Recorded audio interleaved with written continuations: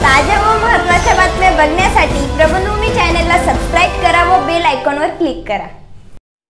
सोलापूर घर घेऊन देतो असे सांगून तेरा लाख रुपये घेऊन घर न देता फसवणूक करून तसेच सदर महिलेचे संबंधीशिवाय शारीरिक संबंध ठेवून बलात्कार केल्याचे प्रकरणी धनराज अभय्या मेरगू यांच्या विरुद्ध बार्शी तालुका पोलीस ठाण्यात गुन्हा दाखल झाला आहे. यावेळी आरोपीने अटकपूर्व जामिनासाठी न्यायालयात अर्ज दाखल केला होता. यावेळी आरोपीचे वकील ॲडव्होकेट नरेंद्र कंदीखतला यांनी न्यायालयासमोर या संदर्भात युक्तिवाद सादर केला. न्यायालयाने सदरचा युक्तिवाद ग्राह्य धरून जिल्हा सत्र न्यायाधीश अजित कुमार भस्मे यांनी आरोपीस अटकपूर्व जामीन मंजूर केला आहे.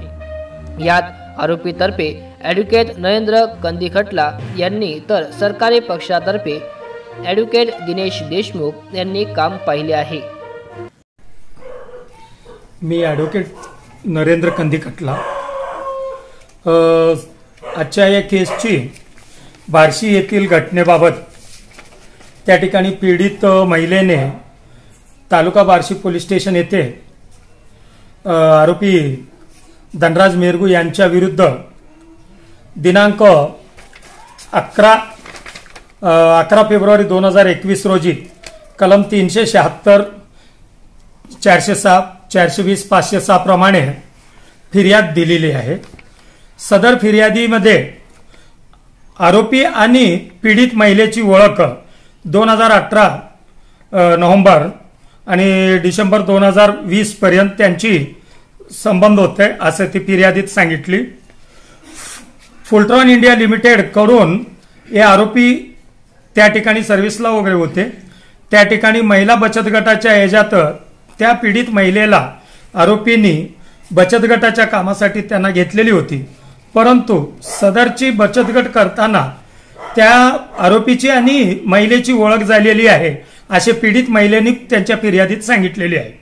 असे असताना पीडित महिलेला राहण्यासाठी घराची आवश्यकता होती म्हणून ती आरोपीकडे आरोपीकडे मागणी केली. त्यात आरोपीने सांगितले की तू एक तेरा लाख रुपयाची तयारी कर मी बाकीची रक्कम हे करून त्यात तुला एक घर देऊन देतो. अशा पद्धतीने बोलल्यानंतर धनराज मेरगूकडे त्या फिर्यादीत सांगितल्याप्रमाणे ती युनायटेड बँक आणि अमुक बचत गटातून इथून काढून ती तेरा लाख रुपये दिलेली आहे अशी ती फिर्यादीत सांगितलेली आहे.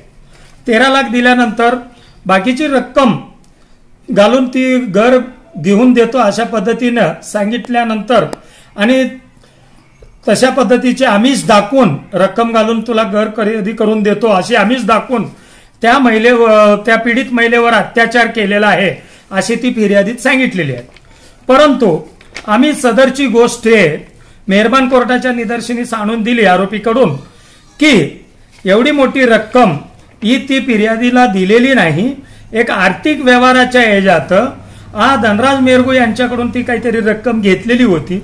ती रक्कम यांनी आरोपींनी परत मागितल्यामुळे ती रक्कम देऊ नये या उद्देशाने ती एक फॉल्स कंप्लेंट फाईल करून धनराज मेरगू यांच्या विरुद्ध अशा पद्धतीचे तीनशे शहात्तर चारशे सात चारशे वीस पाचशे सहा प्रमाणे बार्शी तालुका पोलीस स्टेशन येथे ती फिर्याद दाखल केलेली आहे.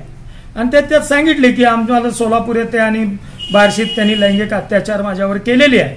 अशा पद्धतीने दिल्यानंतर आम्ही त्या संबंधित याच्यासाठी मेहरबान कोर्ट बार्शी जिल्हा व सत्र न्यायाधीश तदर्थ जिल्हा व सत्र न्यायाधीश अजित कुमार भस्मे साहेब यांच्याकडे आम्ही अटकपूर्वसाठी आरोपींनी दाखल केली. सदरच्या आरोपीची युक्तिवाद करताना आम्ही कोर्टात निदर्शनास आणून दिलेली आहे. ही अशा प्रकारची ही खोटी फिर्याद आहे आणि यामध्ये कुठलेही तथ्य नाही. एक आर्थिक व्यवहाराची बाब आहे. असे म्हण- म्हणाला म्हणाल्यानंतर मेहरबान साहेबांनी अजित कुमार भस्मे साहेब जिल्हा तदर्थ जिल्हा व सत्र न्यायाधीश साहेबांनी आम्हाला दिनांक अकरा पाच दोन हजार एकवीस रोजी सदरच्या गुन्ह्यात धनराज मेरगू यांना अटकपूर्व जामीन मंजूर केलेली आहे. ताज्या व महत्त्वाच्या बातम्या बघण्यासाठी प्ले स्टोअरवर जा. प्रबलभूमी ऍप डाउनलोड करा व या धावपळीच्या जीवनात अपडेट राहा.